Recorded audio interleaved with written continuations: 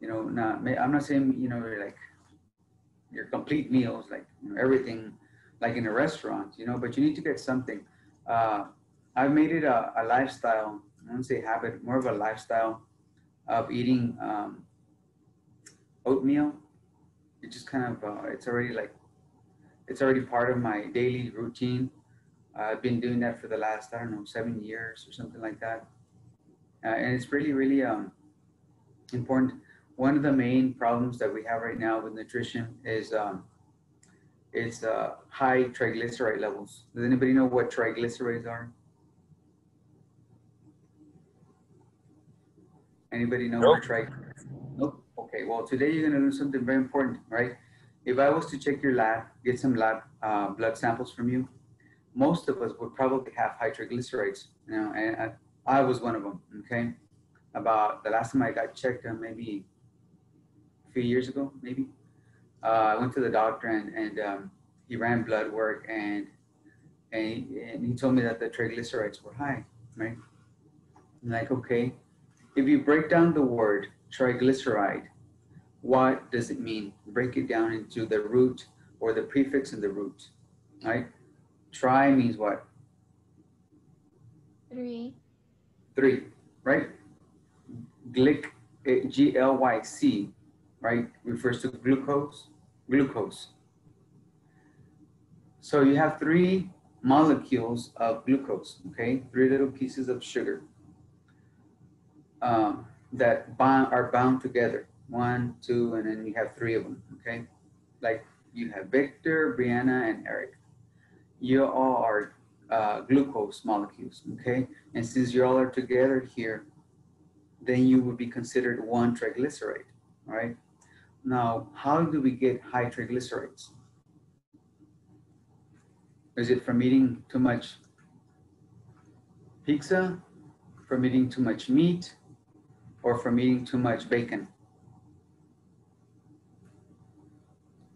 Carbohydrates. Carbohydrates is correct. Carbohydrates is what we eat, right? Our body turns it into sugar, usable sugar, which is glucose. Okay, your body cannot uh, process, you know, bread by itself. It breaks it down into chemicals, right? So, anyways, most people nowadays have high triglycerides, and it is because of the excess of carbohydrates. Okay, so when we tell somebody carbohydrates, they don't know what that means. It all means it's pretty much sugar, and 75% of what we eat are carbohydrates, especially in our diet, right? In Hispanic diet. Everything that we eat is composed of carbohydrates, okay? So in the long run, okay, when we really look at our plate and balance things out, is it a balanced meal? Does it contain an element from the different uh, food groups? Is there um, complex carbohydrates? Is there proteins? Is there, you know, fats? Is there sugar? Probably a lot of it too, right? So we have to make sure that when we look at the plate, okay, it, it's balanced, okay? That's one problem, okay? But most of the problem that I see, and uh, myself and everybody, right, that I, and I don't look at what people eat or how much they eat, right? Uh, but we have a portion problem. We have a portion. When you go to the restaurant and you pay for a meal, okay, they give you so much food that we feel bad if we don't eat it, right? But you don't have to eat it all. I tell everybody, you don't have to eat it all. You can take, you know, half of it home. Just eat your portions. Portion control is a second uh, problem that I see. Portion control. People are, you know, they want to eat everything at once, and that's not the way it works. Okay, that's not the way it should work, anyways. So portion control, too much carbohydrates in our diet, very very high in carbohydrates, uh, is what's causing high, um, what do you call it, hyperlipidemia or high triglyceride levels. Okay. Now, how does tri- high triglycerides affect your health? How does it affect your health? Anybody have an idea? How does high triglycerides affect your health?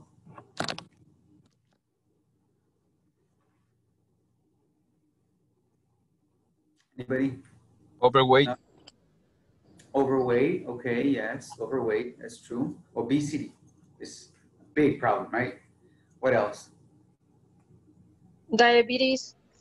Diabetes, thank you, yes, diabetes is probably number two problem we have here in the valley, obesity and diabetes. What else? You guys are in the right track. You guys The on fire. veins se empiezan a llenar de fat, las venas. Ay, ¿quién es esa voz? Pues yo, Ileana, ¿quién más? Ya que ya, no me conoce. No, no, but that's right. Art, uh, we call it coronary artery disease, right? Those of Yes. you that were in the EKG class should know that. It means that in the, remember when we talked about the arteries, the vessels and all that? When between the walls, all the sugar is three sugars turn into fat. Okay, three sugars make one fat. So if you have a lot of sugars, well, you're gonna have a lot of fat, right? Makes sense. Where does all that fat go? Well, different parts of our body, right? And including the inside of your body, which is your arteries, which is where you don't want it to go. Okay? So yes, coronary artery disease, obesity, diabetes. There's one that is not very well known. Let me see. Anybody have any other idea? Anybody heard of any other problems? It's very common nowadays too, not only in adults, but sadly in kids too. So if you have kids a little bit on the heavy side, you need to really um, work on their on their diet, like on what to eat. Anybody want to take a guess? Um, ¿Cómo se llama lo que se, necrosis, que se pone black en el cuello? Oh, That's not it. yeah, well, that's a that's a sign of Ay, diabetes. ¿cómo se llama, right? sir? No me acuerdo. Se llama uh, línea negra albicans. Okay, pero that goes with diabetes. What I'm trying to get at is your liver. Your liver is what uh, synthesizes sugar. Okay, it's usable for your body. So when your body has, uh, when your liver has all this extra sugar, and the the the liver says, "Well, I don't need more. I don't need to make more because we already have a lot of it." Well, those sugars tend to um, cover the liver with fat. Have you guys ever heard of a fatty liver?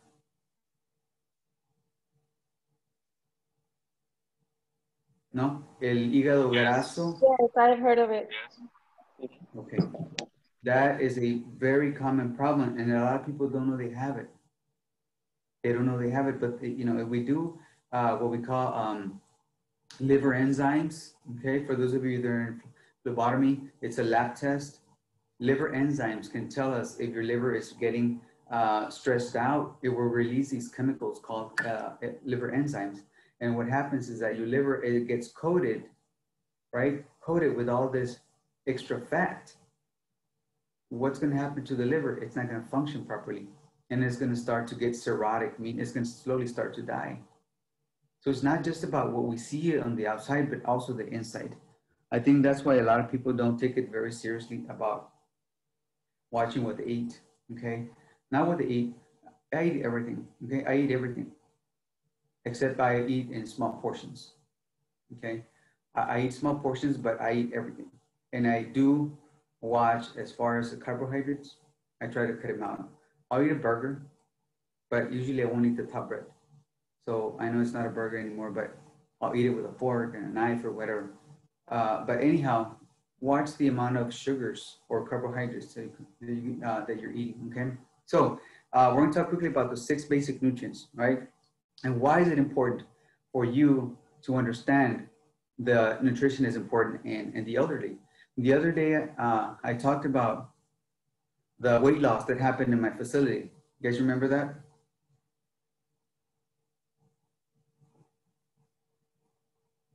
Weight loss. Yes. There was a uh, there was a lot of residents that had a lot of weight loss. Okay, because of the pandemic, the residents were unable to eat the regular foods, which means fast food, restaurant food. You know, uh, families um, were going in there and taking food, which they're allowed to. I mean, this is a home. This is like you, you can eat whatever you want in your home. Same thing for the residents. The family will take them all this fast food and food from home, etc. Right? Well, now that they couldn't do that for the last four or five months, right? Five, more like five months, residents would not eat. They, they were not accustomed to eating the hosp- uh, would say hospital, the nursing home food, which is all, it's not all that bad. It's just that they were not used to it. Okay, Hispanics, most of them are Hispanics. Okay, They're not used to it. Now, those that still were used to eating the nursing home food, they were fine. No weight loss. As a matter of fact, some of them gained weight, right?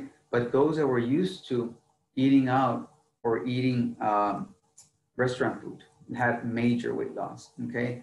Uh, sometimes I see that as a plus, but it looks bad on paper, okay? It looks bad on paper because we have to document, justify why did the resident lose weight and what did we do about it, okay? Remember that part of your job as a nursing assistant is to document the, the nutritional intake of the residents. So with every meal, okay, uh, uh, breakfast, lunch, and dinner, you're gonna you're gonna observe how much they ate, and you're gonna be instructed uh, according to the uh, facility policies how you measure that. Okay, usually it's in a percentage. So if the residents uh, continuously start uh, are eating less than 50%, that's red flags. Okay, that's gonna prompt me when you document 25%, 25%, 25% is gonna raise a red flag on my end on my documentation and I'm gonna see why is Mr. Smith not eating? Okay, uh, I have to do something about it. Call the doctor. Hey, doc, your resident's not eating well. You know what can we do about it? Okay, or let's get a nutritionist to go talk to them. Uh, the dietary department to go talk to them about food preferences. What is it that they like? Why are they not eating? Da da da. First step. Second step.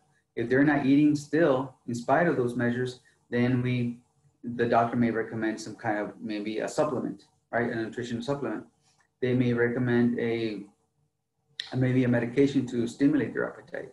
Okay, so medication is not always first choice. You know, usually we want to leave it for later, but um, we have to document that we're doing something about it. Because if we don't document, even if we did do the things, we did all the above, but we didn't document it. Well, that's just like doing nothing. Okay, so imagine your family being in a nursing home. You know, you saw them nice and plump the last time you you know saw them four months ago and now you see them all, you know, macerated, where they're all skinny, you know, they're looking pretty wasted, right? Because they lose a lot of um, fat. Now they look all older than they than they are. You're gonna be upset. How can my mom or my dad be like this? What were y'all doing, you know, and so on. I'm pretty sure we're gonna have a lot of unhappy families when they see the residents skinny. Some of them are very thin. Okay, so again, that's why it's important that we monitor the nutritional intake. So what are some of the basic nutrients that we um, that we have to know about? Okay, in uh, in no particular order, right? Uh, water, obviously, water is very very important. Okay, water uh, is is uh, what we are composed of, right? Uh, babies are 75% water. Adults like us are usually 50% water. Okay, so a lot of the, what we have, we're kind of just a, a big ball of mush. You know, we're uh, propped by a skeleton, but for the most part, we're just a lot of fluid. Okay, so water is the most essential uh, nutrient. You know, and honestly, be honest to yourself. How much water are you actually drinking? Okay, you have to force yourself to uh, to drink water. Um, how do you do it? One of you or some of you tell me how do you do it to make yourself drink water? What do you do? while I take a sip of my coffee.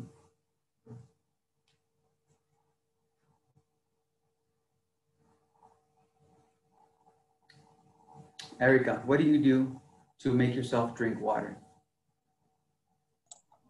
Yo, de hecho, sí tomo bastante agua. No me gusta tomar soda ni nada de eso. Solo lo que hago es no comprar coca ni mm -hmm. comprar jugos, solo tenemos que tomar agua. Okay. When you go to a restaurant, do you drink water? Yes. Me too. Yeah. Yeah, I, I dropped sodas a while back, about maybe, I don't know, eight years ago. I stopped drinking sodas completely. Uh, once in a while, I'll buy like a Coke Zero, but it'll be once a month or even more than that. Um, so it's important that you drink water. Okay, but how do you, what, how do you, what, what do you do to, to remind yourself to drink water?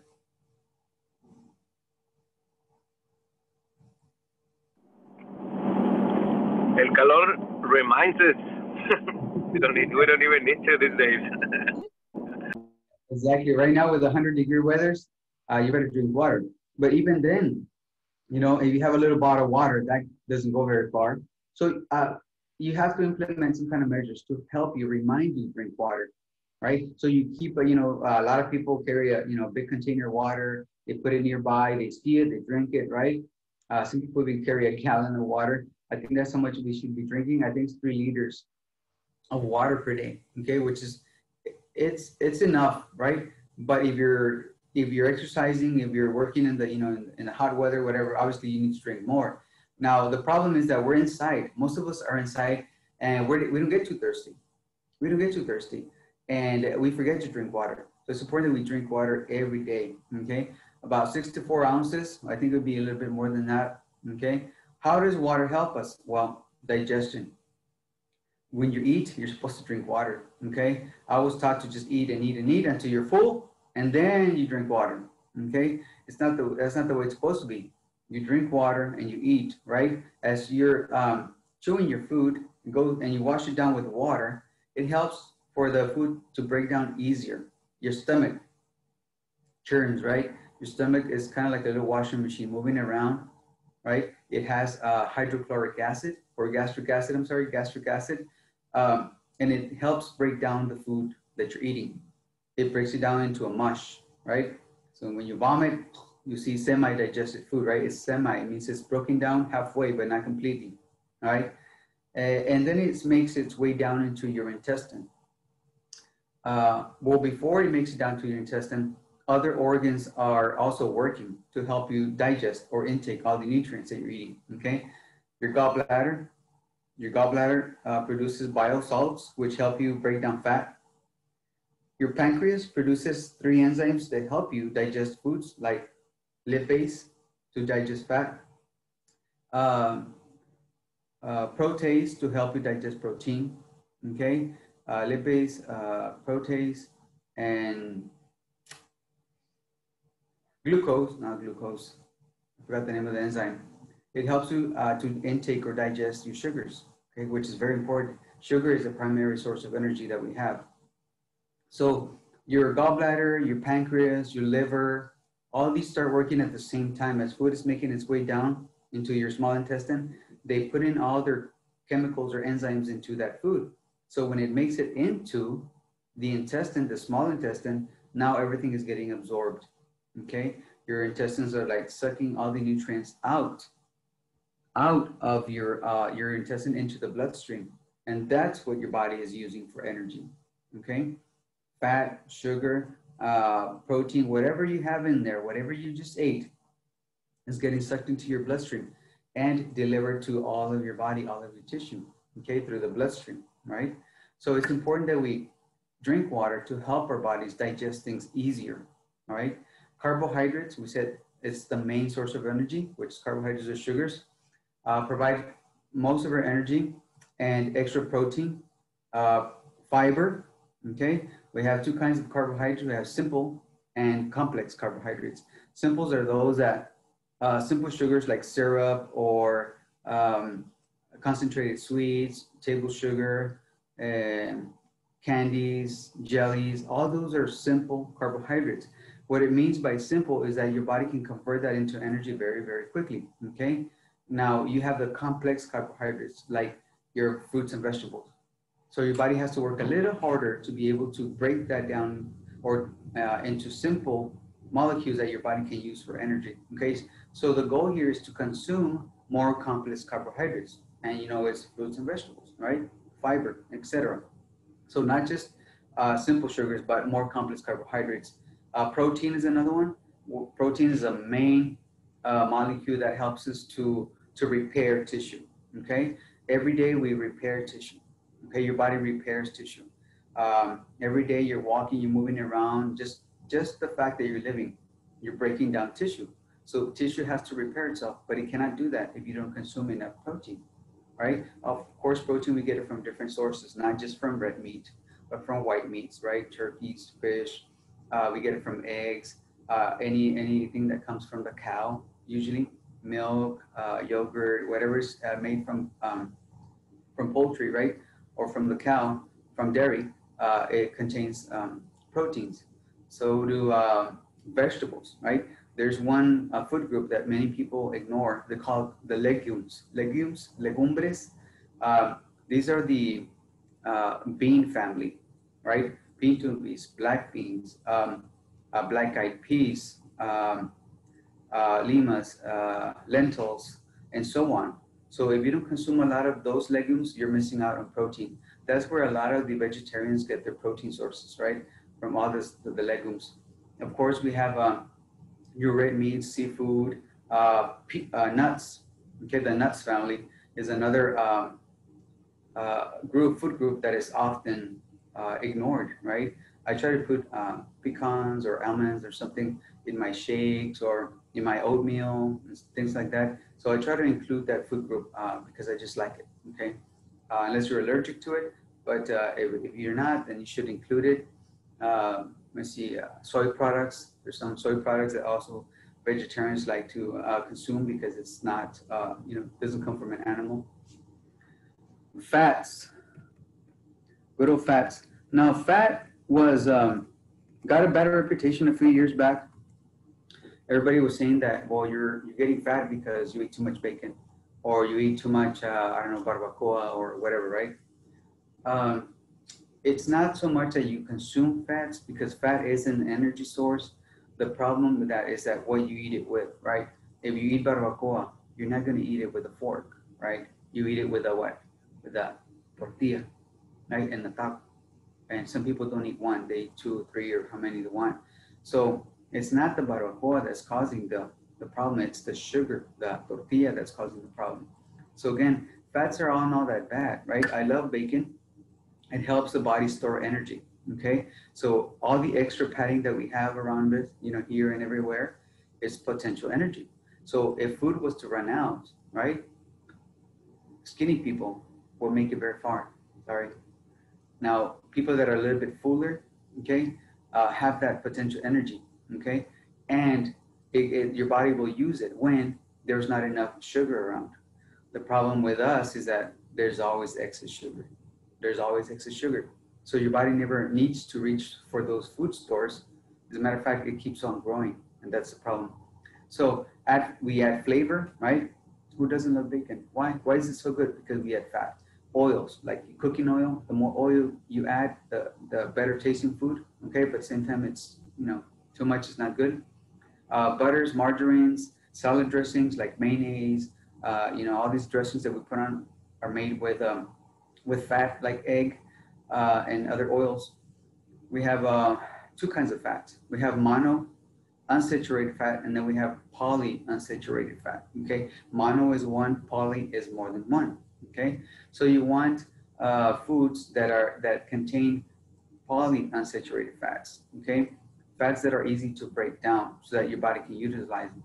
Uh, one of the problems that we have is that we eat um, fried foods, and the fat they use to fry the food. Okay, it's not a normal fat that your body recognizes, right? It, it's um, called hydrogenated. Um, usually they call it oil, but it's uh, it's uh, lard, you know, lard, manteca.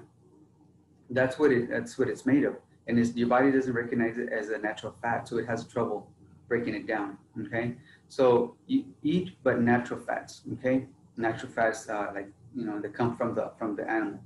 Uh, vitamins are also very important. Now, as a young adult, you don't have to worry too much about vitamins, but as you get older, like myself or even older adults, uh, vitamins can are very necessary. Why? Because if you didn't know, your your stomach, okay, makes these chemicals that help you absorb, okay, some nutrients. And as you get older, that it's called pepsin.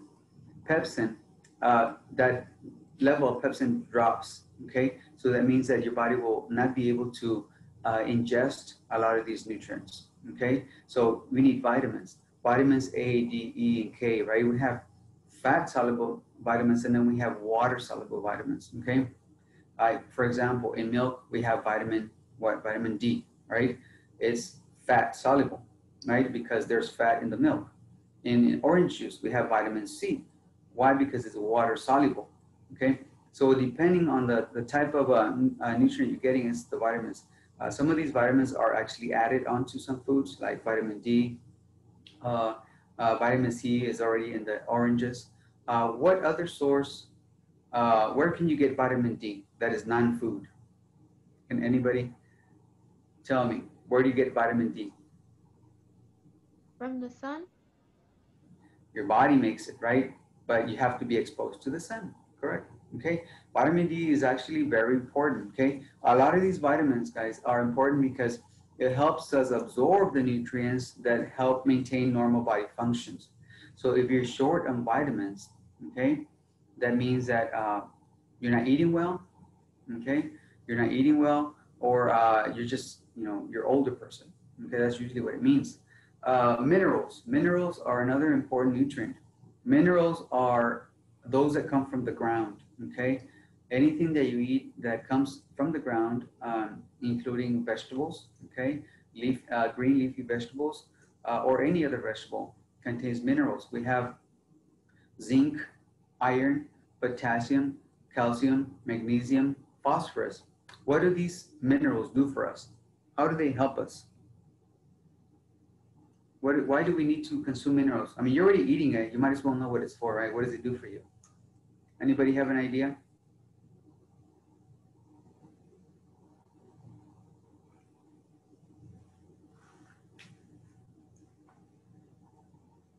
Minerals, um, what they do for us uh, mostly is uh, conduct electricity. Okay, so as those of you that were in EKG, you remember uh, about um, electricity. Okay, so our bodies function with electricity. The muscles. Okay, you cannot move an arm or a leg, right, without uh, without electrolytes or minerals. Okay, if you're short on sodium, potassium, magnesium, you're going to be cramping. Okay, you're going to be cramping. All right, so it's important that you maintain these. Okay, how do you maintain an adequate amount of minerals? Well, one of them you can ingest it, you can take a pill, or easier, include them in your food, right, in your normal regular diet. Okay, whatever you eat, include more minerals. So it's really important that you maintain a well-balanced meal. So carbohydrates, fats, protein, vitamins, minerals. Those are the six nutrients that we need to be uh, aware of. Okay, very important. So understand that older people are not able sometimes to ingest all the nutrients, right, on their own. So we have to make sure that we help them, right? So we were helping them eat, and you want to encourage them, right, to eat vegetables. Yeah, they usually get a protein, a carbohydrate, and, uh, and vegetables. Okay, or vegetables are complex. But they'll get like a, their protein source. They'll get like a, a starch, like a potato or carrots, and another kind of vegetable. So we have to encourage the intake of the different food groups. Okay, and of course they get milk or water or some other kind of juice. They get they get uh, other kind of uh, minerals or vitamins, uh, but it's pretty balanced out. And this is the problem with our diet and our culture. Okay, uh, most of our diet is very high in carbohydrates and it's not balanced out. Okay, so next time you sit down to eat your next meal, uh, look at it. What kind of nutrients are you con- ingesting? Are you taking, and how much? How much of it? Okay. Uh, any questions?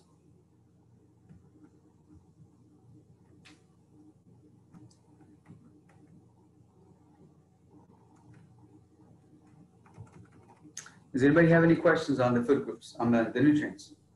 No. Okay.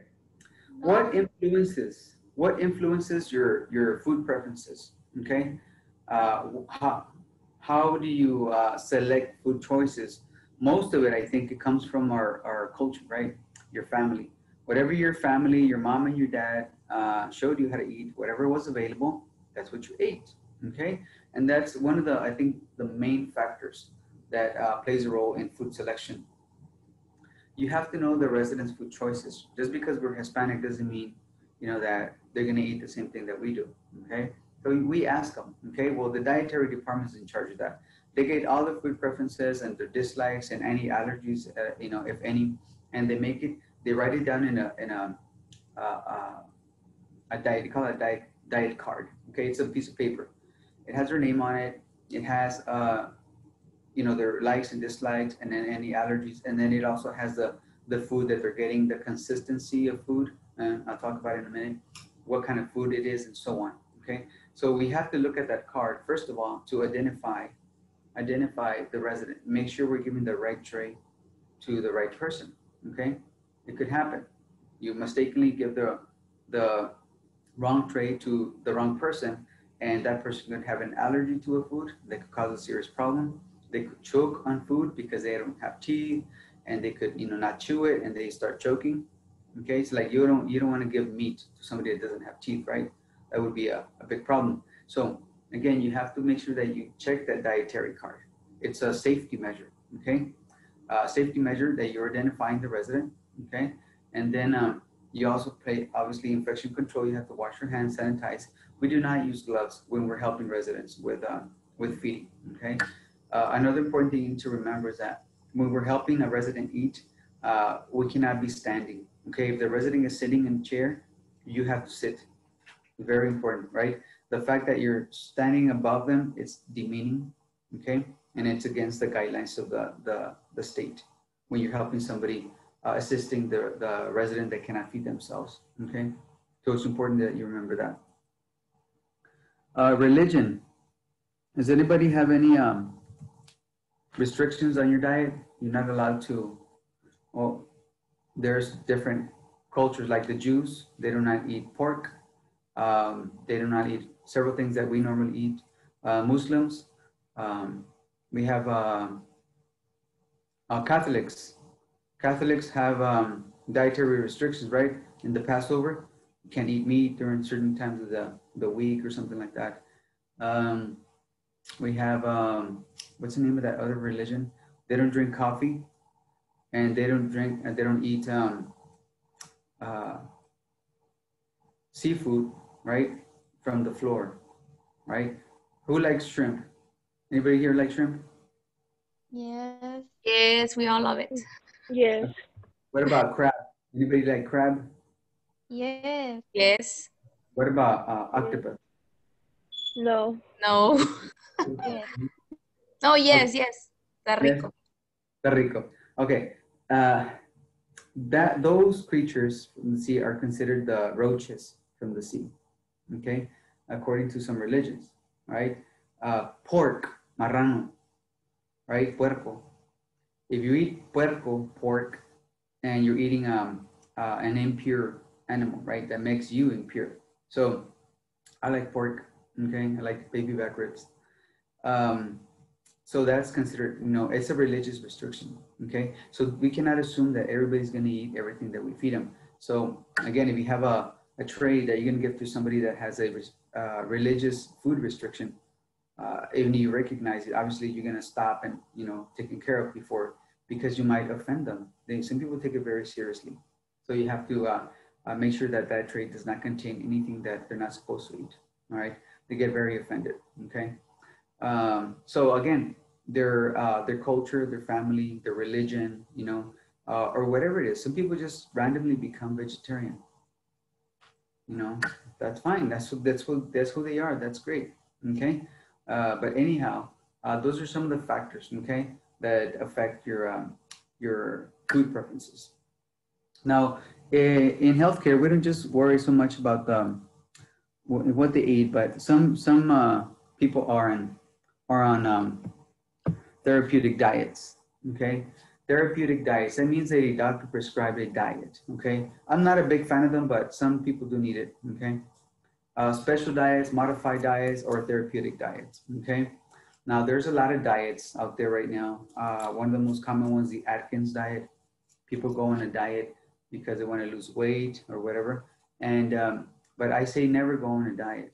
Okay, don't go on a diet because when you go on a diet, that means you have to get off the diet, and then you go back to your previous self, your eating habits. So um, on the contrary, start a a style, uh, um, a change in your lifestyle. Make it the way you're gonna live for the rest of your life. Okay, those of you that are young, below 40 years old, by all means, you should really consider it, guys, because um, there's a lot of medical problems that come uh, with uh, with obesity. Okay, and you don't even have to be like huge, like oh my god, you can't stand.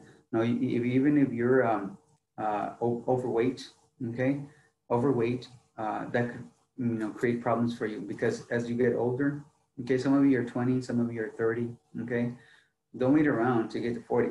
Okay, it's to be kind of late. Okay, it's to be really hard for you, especially sorry, ladies, but ladies have a hard time losing weight. Some of them, not not everybody, but uh, it becomes more difficult. You know, you have children, and that adds a little bit more weight, and a little bit more weight, and the next thing you know, you've gained a lot of, and it's really hard. You know, it takes a lot of discipline uh, for you to change your eating habits. Okay, change your eating habits. So uh, some diets are modified. Okay, for several reasons. The person doesn't have any teeth. Okay, a lot of residents don't have teeth, um, and they want to eat regular food. How are you going to eat if you can't chew it? You know, you're going to choke on it. So we give them what we call uh, mechanical, mechanical soft. It's chopped. Okay, toda muchadita, so they don't have any hard time. You know, but it's still it's still a risk. Okay, so we have to be careful with them. Some of them cannot swallow correctly. Some people that get a, like a stroke, right, when they can't move one part of the body, get a stroke, and uh, it also affects the swallowing mechanism. Okay, so we take them for granted when we drink and when we eat, we just and it goes down. Okay, some people that have strokes in the past, uh, it, it- they can't do that anymore safely. When they try to swallow, right away you can tell they start coughing and they start choking on it. That's because they're having trouble uh, swallowing. Does anybody remember the medical term for difficulty swallowing? I don't know if I mentioned it here before. Well, it's called dysphagia. Dysphagia. DYS stands for difficulty, okay? And uh, phagia means to engulf, okay? You think about Pac-Man, right? Your dysphagia, that means you can't, imagine Pac-Man not being able to swallow the little pellets. That would be a problem, right? So we give them a puree diet. Puree diet that is thick, okay? And they can swallow it safely and it goes into their stomach and so on, okay? When they can't swallow safely, it's gonna go into the airway, into your bronchus, okay? Into your lungs, creating infections, okay? We call that um, aspiration pneumonia. So if you're aspirate, that means that food or water went into your lungs, okay? Sometimes when we're drinking we start coughing and choking, right? Some of that little liquid went into your lungs or into your airway. Maybe not all the way to your lungs, but into your airway, right? But your your body automatically makes you cough so you can obviously cough it out. Okay. So these people that have strokes, they can't. They may not even feel that it's going in the wrong direction. They'll just think they're drinking and swallowing fine. And I have a lot of residents that have that problem. They think that they can eat normally like they could before. They don't understand that it goes into the wrong pipe and then they get infections and, and so on. Right? They get pneumonia because of the the, the food and, and, uh, and water uh, harbors bacteria in the lungs and creates infections. So aspiration pneumonia is something that I'll talk a little bit more about in a while, okay? So first kind of diet, low sodium diet, low salt. Low salt diet. Why do you need to eat a low salt diet? And this goes for everybody. We all need to eat a low salt diet, okay? How much grams of salt should we consume per day? Now it's really difficult to guesstimate, especially if you eat out, okay? Salt adds flavor to food, right? That's the whole point of salt, okay? However, too much salt, okay? How many grams of salt does a soda? If you like to drink Cokes, how many grams of sugar, how many grams of salt does one soda have? Look at the label. It tells you right there, okay? I believe uh, sodas have about 28 grams of sugar. Would you eat 28 grams of sugar by itself like that? Probably not, right? Right, but you put it in water and you make it nice and dark and you would carbonate it, right? It goes down nice and smooth and it gives you that little tickly here when you drink it, right? That makes you want to drink more, okay? So it has a lot of salt and a lot of sugar, okay? Any kind of sodas. So make sure that you start looking at the labels a little bit closer, okay? So low sodium diet. Why do why does somebody need to be on a low salt diet? Okay, I think I've uh, told you before that water follows salt. Okay, they're like this. Water follows salt. Okay, so if I have um, if I go to the movies, right? What do you eat? Popcorn, right? You're, you're scarfing down popcorn, right? You're stuffing your mouth with popcorn and it's salty, right? So what do you need when you're eating popcorn? Well, you need a drink of something, right? You're not gonna choke on popcorn, okay? So usually a soda, people would have soda, so you're eating more sugar, okay? And there's a lot of things that contain a lot of salt, okay? So it's important that, that you monitor. Now, why you want to avoid salt? Because salt, according to the physicians, salt makes your arteries stiffen. Your arteries need to be elastic. Okay, they need to be elastic, stretch, and accommodate your blood pressure. Too much salt makes those arteries stiff. Call it atherosclerosis. Atherosclerosis. Okay, so if you're interested in looking up uh, the relationship between salt and cardiovascular function, by all means, go in and Google it, research it, so you can know the damages that salt causes to your arteries. Okay, so that's not the only problem. The problem is that as you get older, your heart doesn't work as good as it used to, right? So the more salt you take, the more fluid you're gonna take, you're increasing the volume. A ver, Brianna, do you remember how much uh, volume we have in our circulation? Do you remember? We talked about it in EKG.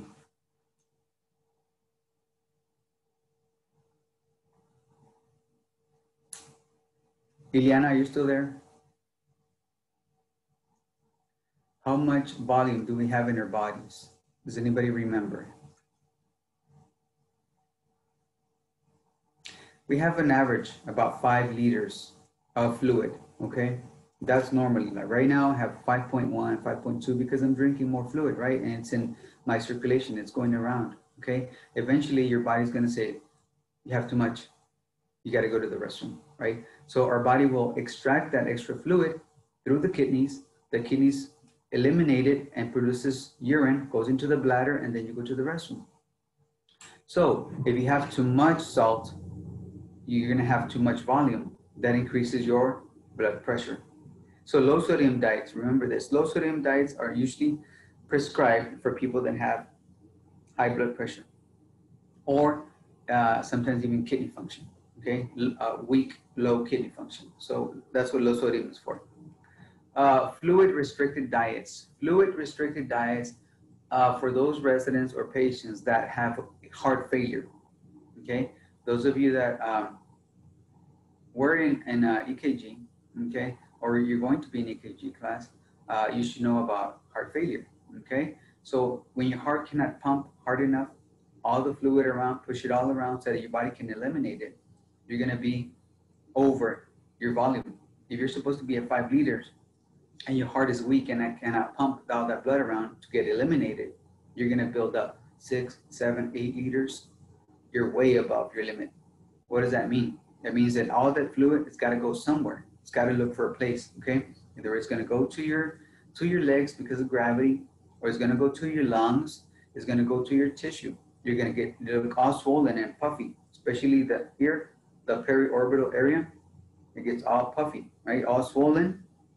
Your face gets a little puffy, okay? So it's important that you we monitor the amount of fluid that some people are intaking, okay? And that's what you have to learn how to perform urinary output, measuring urinary output, right?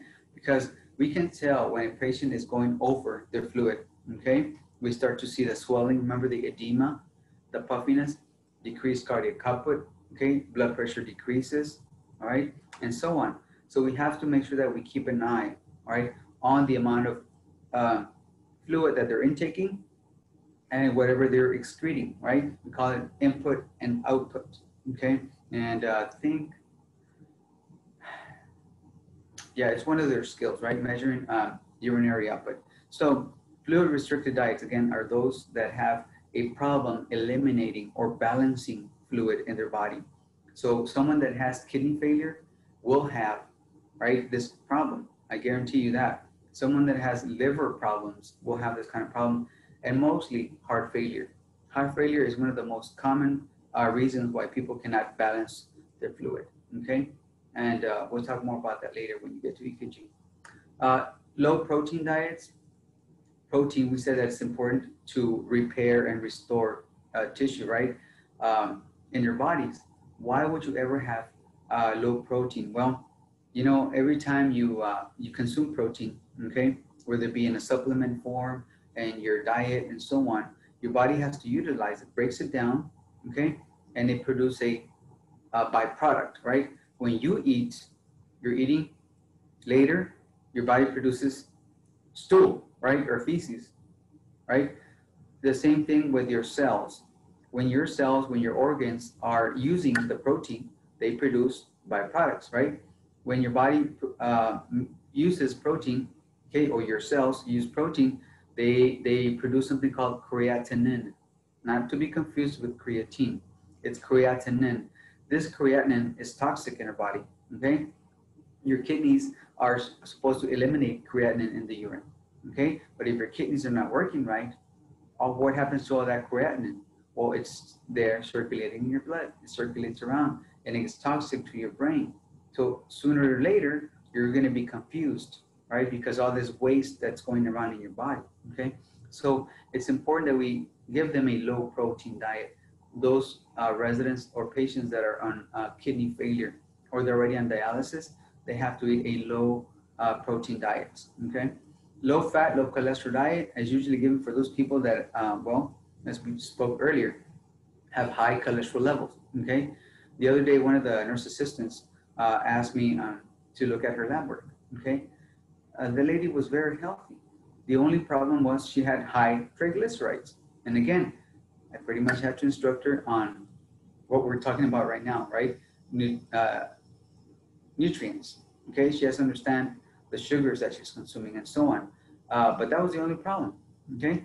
Uh, so low fat, low cholesterol diets for people that um, already have heart disease, coronary artery disease, uh, peripheral vascular disease, or any other kind of um, uh, disease that is affecting the, the cardiovascular system. Modified calorie diets. Modified calorie diets are for those that uh, intend to lose weight or to gain weight, believe it or not. Okay. So if you're a very skinny person, very thin, and you eat anything that is in front of you, and you cannot seem to to gain weight, that's because you're probably not eating the foods that you need to eat. Okay. What kind of diet or kind of foods does a skinny person need to eat to gain weight? Can anyone tell me?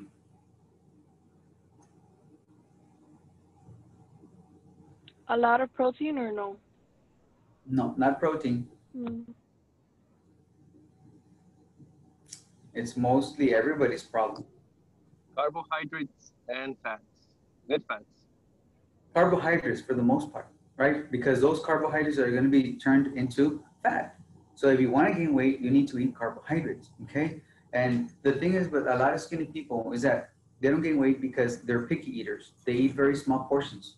They eat here and then and they eat there, but they eat very small. So their their stomach is always a little bit full, so they're never really hungry. And the problem that we have, most of us, is that we wait, we're starving, like, oh my God, if I by the time you're you get around to eat, you're like you want to eat the whole world, right? You eat, you overeat, and that's the problem, right? So that's why they tell us to eat snacks in between meals and that kind of stuff. But that is the thing with skinny people. If you look at them, okay, you're like, how can you do it? How can you be so skinny, right?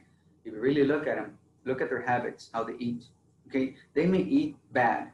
Okay, they may eat bad, but they only eat very small portions. That's what I've noticed in a lot of skinny people.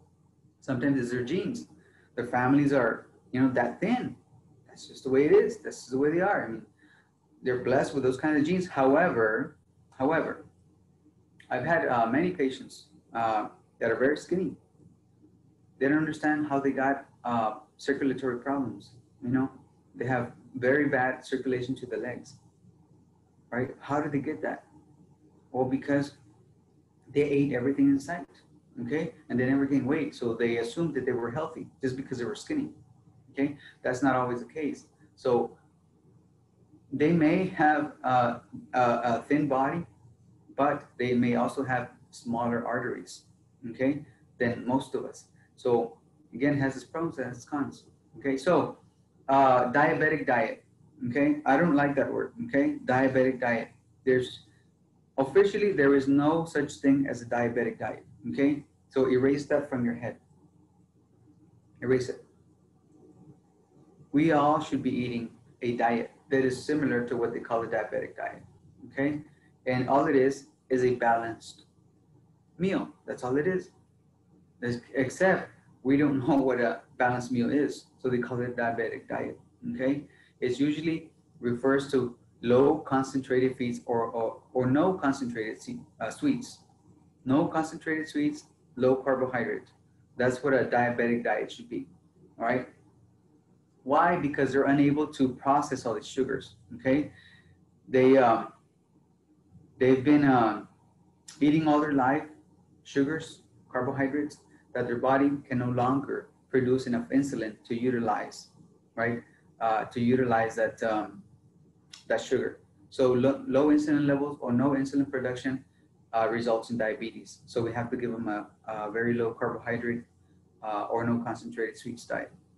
Uh, uh, vegetarian diets. Now vegetarians are uh, there's different kinds. There's uh, vegans, which is the most strictest type of vegetarian. They will not eat, look at, or even wear anything that is made from an animal. Okay, no leather shoes, no leather purses, nothing like that. They will not eat anything that is made up uh, that comes from a uh, from an animal, either be a chicken or a, a, cow or whatever it is. They will not eat it. And then you have your uh, varieties of vegetarians, like your ovo lacto, right? That means they eat eggs and milk and vegetables. Then you have your um, what's the name of the other one? Uh, go ahead and look it up in the book. Remember the other kind of vegetarians.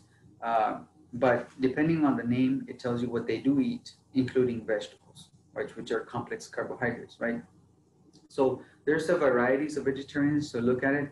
Um, you know, it, people say that vegetarians usually live longer and live uh, healthier, uh, and, and, it is true. It is true. Okay. Uh, liquid diets. Uh, liquid diets. The I I know there was a kind of diet. It was a fad diet, right? FAD, a fad diet. Uh, you guys ever heard of the la, la, la dieta de la luna? You guys ever hear that? No. No? I said, tell me more. yes, I want to know. no, no. All it was was a water diet, okay? The, you cannot go on a water diet. That's, I don't even know what people are thinking. Um, because you cannot survive on water alone. You need nutrients, right? We all need nutrients. So there's no point in going liquid diets, okay? The only time we give liquid diets are for those people that um, had surgery, like right after surgery, since their intestines and all that, they're still kind of numb. They're, you know, they're waking up because if they start eating regular food right away, it's gonna come back out, right? Because the esophagus and the intestine and stomach, they're still kind of like frozen. Uh, so we give them liquid diets and we start going easy and then we move them up to, you know, to the regular diet. So liquid diet you can because you're gonna start losing a lot of um, uh, muscle mass, okay? Uh, so you don't wanna do that. So what we do is that we, um, we start them off with a liquid diet and very quickly we start moving them back up. Anybody that goes on liquid diets more than three days, you're gonna start to lose, yes, fat, but also a lot of muscle mass, okay? So you don't wanna do that. That's why a lot of people look very like wasted, like, you know, they lost weight too fast because they lose a lot of muscle mass. Uh, soft and mechanical soft diet, I said earlier, are those people that have chewing problems, no teeth, uh, or whatever it is. The, uh, those diets are for them, soft and mechanical diets. And then we have puree diets, I said, are for those people that have dysphagia or difficulty swallowing. That's what they get, a puree diet. And they also get uh, liquids, but in a different consistency, okay? Uh, there's honey thickness, and then there's uh, nectar thickness, okay? Uh, if you know the honey is very thick, right? And the nectar is thinner, okay? So in order for them to get that consistency, they have to have a study. They call it a modified barium swallow study, okay? An MBSS. Modified barium swallow studies are done uh, with an X-ray machine, okay? And the speech uh, therapist is usually the one that spoon feeds. They give them like a spoon of honey or th honey thickness, and the person swallows it, and the X-ray machine is right here next to them, and it's taking pictures of the of the liquid actually going down their throat. And when they see that liquid is going down the wrong pipe, they say, well, no, this thickness is too thin. Let's try the thicker one. So they go to the thicker one, right? And then that's how they prescribe it. So what happens if this person cannot pass that test? Let's say the thicker one, the, the honey, is still too thin. It goes into the lungs. What happens? What do we do? How are we going to feed this person? Hmm? What do we do? How is this person gonna get their nutrients? Anybody have an idea?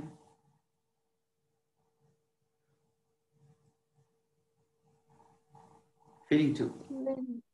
Yeah, feeding. feeding tube, right? A feeding tube so they're going to get the nutrition. We call it a gastrostomy. This is a medical term. Gastro means stomach.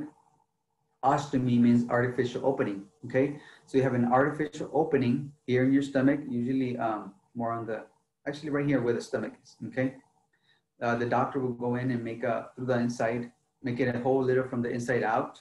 Okay, and then the, we uh, well the doctor inserts the um, gastrostomy tube and it goes in there and it has a balloon and it's inflated so it doesn't come out, right? So the gastrostomy is there, okay? And then we connect it to the to the bag, the feeding bag or machine that feeds them, you know, continuously. Or sometimes we we give them something we call bolus feedings. Bolus feedings, you know, we have a can of of, uh, of supplement milk or whatever, and we uh, have this big old syringe. You guys seen those big old syringes? And we connect the syringe to the tube and then we just pour it in there slowly. That's called a bolus feeding. Uh, some people can tolerate it, some people cannot, uh, because it goes straight into the stomach and down to, intest- in, uh, to the intestines. Sometimes they get diarrhea. Okay, it's just um, it's too fast. So instead of doing that, they they connect it to a machine with a bag, and then we program the machine, and it slowly feeds them very little bit at a time per hour. Let's say maybe, um, you know, like an ounce per hour or something like that, which is very slowly but they will get their calories, the nutritional intake like that. So again, it's a very easy way uh, for them to get nutrients and it does prolong, you know, they can actually gain weight, they can lose weight too. It just depends on the uh, nutrition of the, of the nutritional status of the patient. Sometimes we want them to gain little weight, sometimes we want them to lose. We have patients that have gained a lot of weight with those uh, feedings, uh, or most of them do maintain the weight. All right, guys, take a little 10 minute break and I'll be back shortly, okay? Don't go away. Don't disappear.